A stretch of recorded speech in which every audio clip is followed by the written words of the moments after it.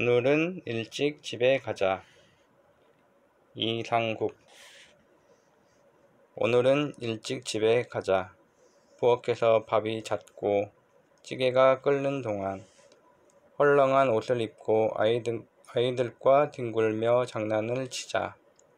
나는 벌 서듯 너무 밖으로만 돌았다.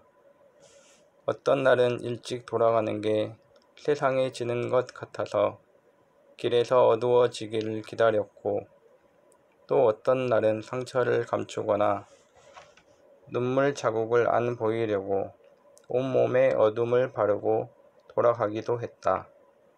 그러나 이제는 일찍 돌아가자.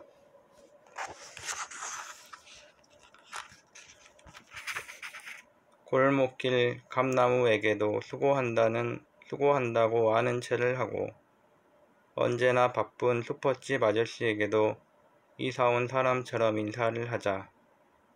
오늘은 일찍 돌아가서 아내가 부엌에서 소금으로 간을 맞추듯 어두운 세상 골고루 스며들면 불을 있는 대로 켜놓고 숟가락을 부딪히며 저녁을 먹자.